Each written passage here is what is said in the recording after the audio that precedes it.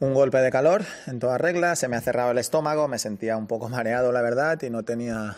buenas sensaciones corporales a nivel de respiración y a nivel de estas cosas, ¿no? Con lo cual, eh,